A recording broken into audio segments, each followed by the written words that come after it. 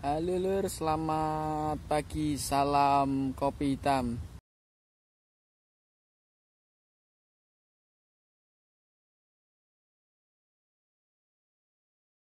Saya ada di kebun durian Sultan Jepara yang eh, dekat rumah saya.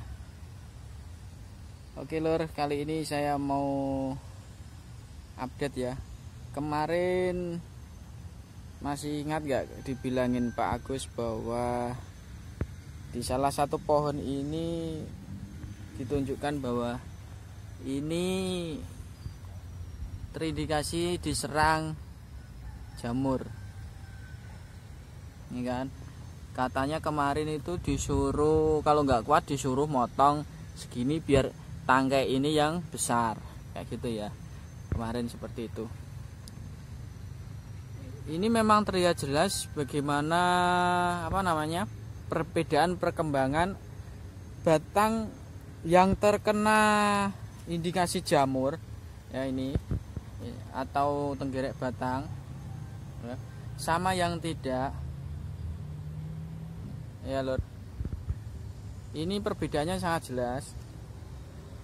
Ini trubusnya sangat lambat perkembangannya sangat lambat ya lor ini belum ada trubus dalam satu pohon tapi beda batang. Tapi batang yang masih normal ini normal itu trubusnya sangat bagus. Ya perkembangannya trubusnya sangat bagus ini. Pada trubus lor. Oh. Oh. Ini lor. Kemungkinan memang ini benar yang akan menjadi ganti batang utama untuk supaya bisa naik ke atas menggantikan batang yang terindikasi kena jamur atau tenggerek batang ini. Ini lor kemarin memang disuruh motong oleh Pak Agus. Jika ini nggak kuat bertahan disuruh motong.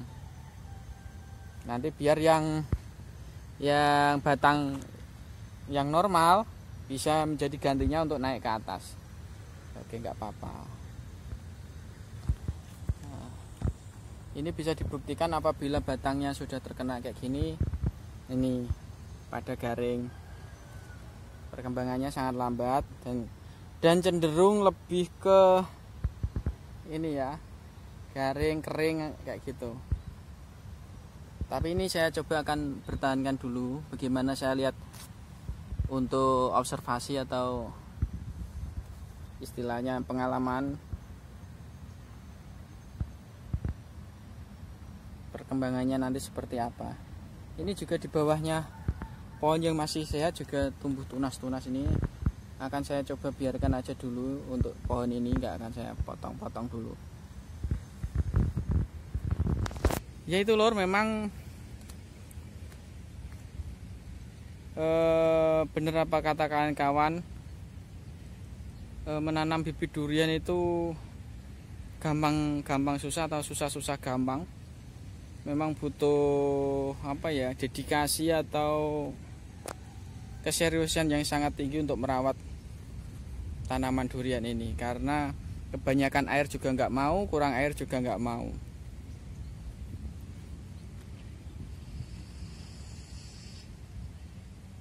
ya oke lor dalam video ini cukup sekian saja.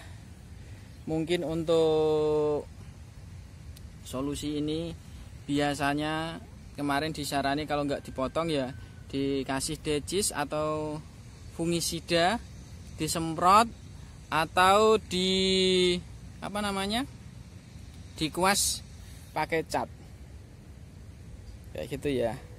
Itu yang biasanya solusi yang sering dilakukan. Oke, terima kasih. Salam kopi hitam.